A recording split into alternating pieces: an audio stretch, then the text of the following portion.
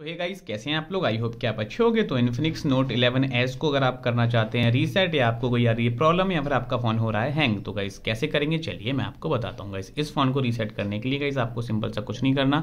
आपको जाना है गाइस अपने फ़ोन की सेटिंग के अंदर। तो गाइस यहाँ से हम अपने फ़ोन की सेटिंग के अंदर चलते हैं सेटिंग के अंदर गाइस आप जैसे आएँगे तो यहाँ पे आपको काफ़ी सारे ऑप्शन देखने को मिलते हैं। बट गाइस आपको सबसे लास्ट में आना है यहाँ पे नीचे की तरफ़ और आपको एक ऑप्शन मिलेगा सिस्टम का तो इस पर करना है आपको क्लिक जैसे गाइज़ आप इस पर करते हैं क्लिक इसके बाद गाइज़ यहाँ पे एक ऑप्शन मिलेगा आपको जो कि है रीसेट फ़ोन का तो इस पर करना है आपको टैप जैसे ही गाइज़ आप इस पर टैप करते हैं, फिर गाइज़ आप यहाँ पे देखेंगे तो आपको एक ऑप्शन मिलेगा, यहाँ पे इरेजाल डाटा इस पर करना है आपको क्लिक गाइज़ इस पर आप क्लिक करेंगे तो यहाँ पे आप सारी चीज़ देख लें तो आपके फ़ोटोज़ वीडियो ऑडियो सारा कुछ यहाँ पे डिलीट होने वाला है, कुछ भी नहीं बचेगा, आपको सिंपल सा करना है इरेजाल डाटा पे क्लिक तो गाइज़ अगर आपने अभी तक हमारा चैनल सब्सक्राइब नहीं किया है, फिर वीडियो लाइक नहीं की है, फिर वीडियो शेयर नहीं की है तो ध्यान से कर दें।